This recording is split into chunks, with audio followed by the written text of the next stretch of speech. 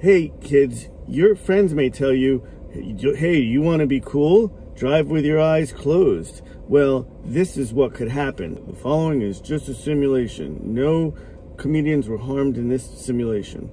I want to be one of the cool kids. I'm going to drive with my eyes closed. I don't need to see where I'm going.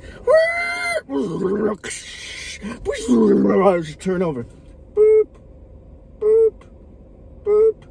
I'm sorry, this is Dr. Tom. I'm sorry to tell you that you'll never walk again, walk again, walk again, walk again.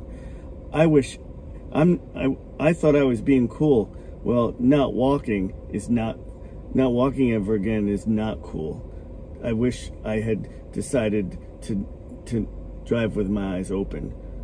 So remember, kids, never ever drive with your eyes closed.